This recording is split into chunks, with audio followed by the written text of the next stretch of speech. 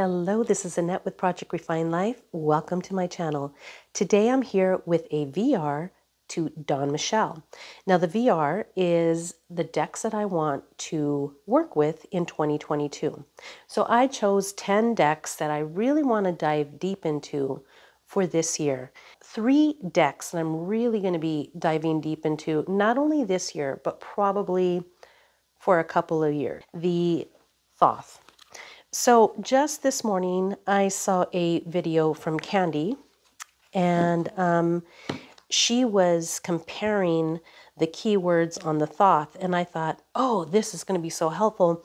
And I think not only she was more confused by the end of the video, but definitely so was I. She came up with a plan to um, go through all of the decks and write through like a whole map type system of the keywords. So I am very curious to see what she comes up with. But this deck, um, I know Nina at, um, oh my goodness, my brain is just on hiatus right now. Nina over at Shuffle Tarot has tons of videos on the Thoth, and I am in one of her Facebook groups for the Thoth. So I will be starting to study this deck, and I know that this is going to be quite the endeavor. So this one I have shared with everybody here before, and this is the Tarot Yohualli Ehecatl. And this is my Mesoamerican deck from Mi Corazon Mexica.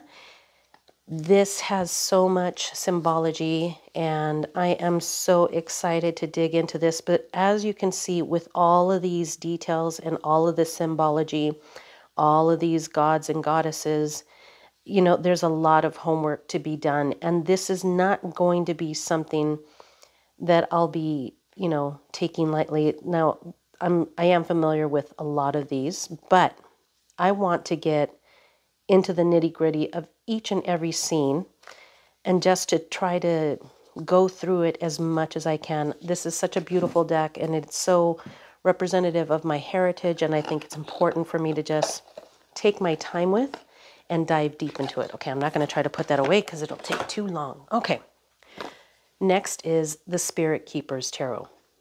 So because I have some other decks that are ahead, I still have not even ordered the um, book of maps, but I will be ordering that as soon um, as I'm ready to, probably within the next month or two. But this, again, is one of those decks that's going to be a long, long study because, again, there is so much symbology here. And I, you know, I'm looking at just these three and I'm thinking, wow, that's a lot of work. but um, this again, I think will just open up so many keys for me when it comes to reading tarot in general. So now one that I've already started doing my deep dive work with is, and I've spoken on this deck already, is the Tarot Avataria or Tarot Avataria, Avataria from Gabby Angus West. And this is my Frida deck.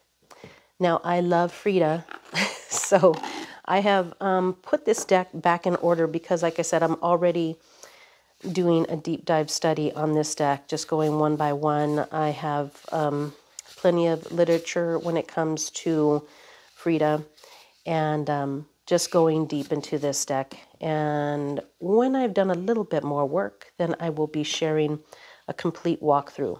I'm already writing it up as I'm studying as well. So this is my number one deck that I'm really working on right now.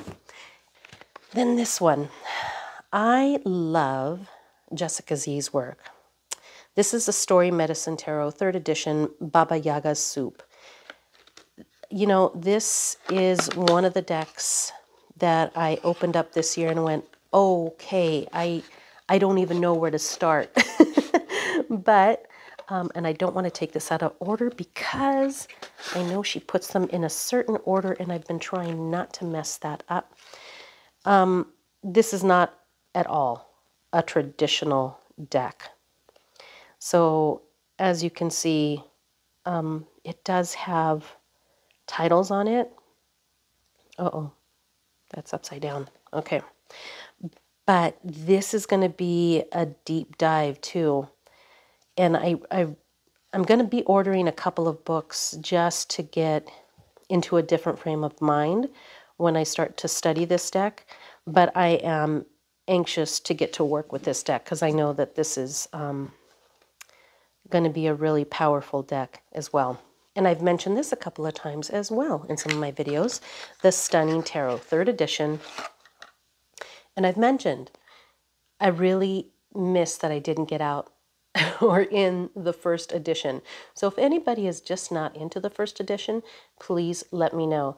I am taking this year as a low buy year, not a no buy, but a low buy year. But I will be going ahead, going ahead and diving in deeply into this deck this year.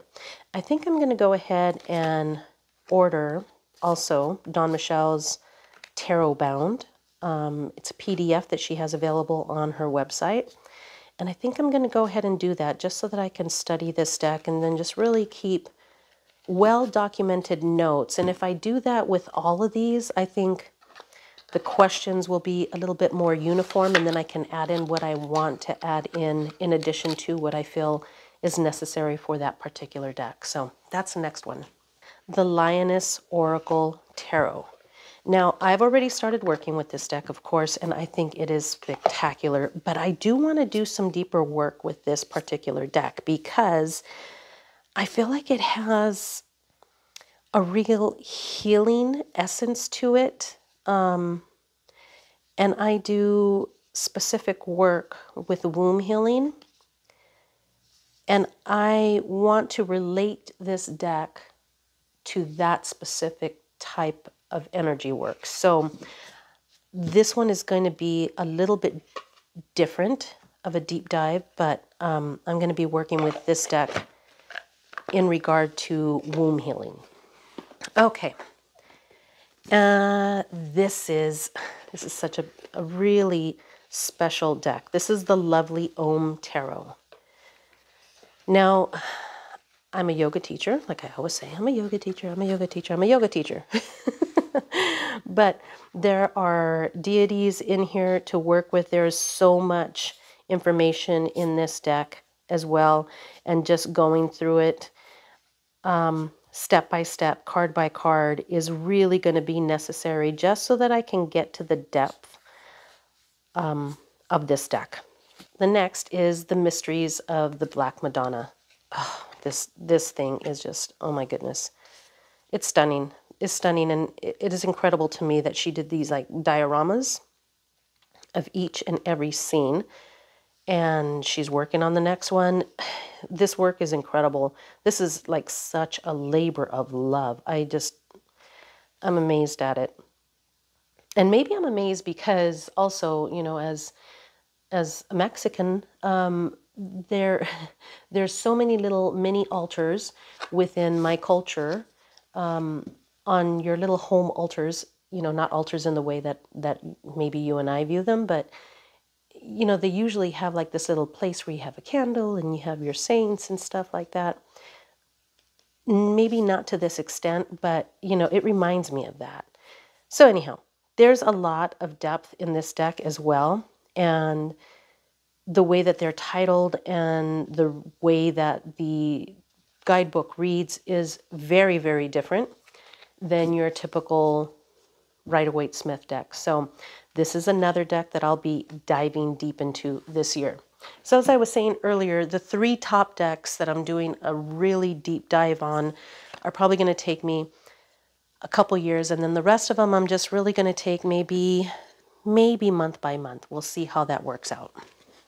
And if I need to take longer, then I will. I don't have any specific time frame because I don't plan on going anywhere. I'm right here. Um, all right, the Energy Archaeology Oracle. This is the only oracle within all of my decks that I'm planning on doing a really deep dive on this year because this is just beautiful. And again, because of the energy work that I do and the healing work that I do, I feel like it's really important for me to dive in deep. And this has been a really amazing deck.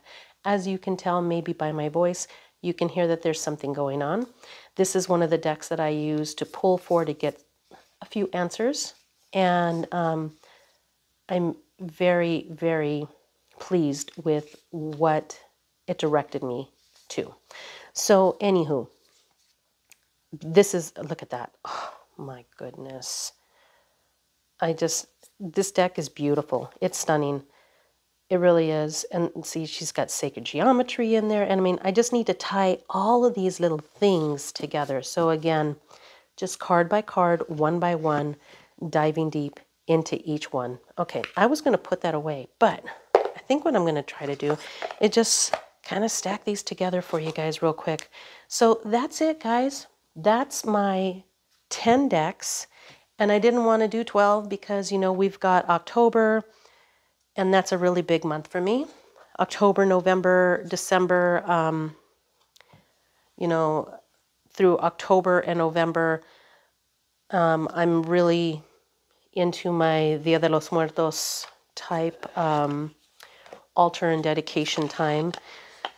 So I wanted to make it 10, and like I said, some of these are really um, lengthy studies. They're going to take they're going to take a long time, and I'm okay with that. Um, if it takes, like I said, if it takes longer, then it takes longer, and then I just, you know, I just put it out there a little bit more. It's all right. Like I said, I'm not going anywhere, so.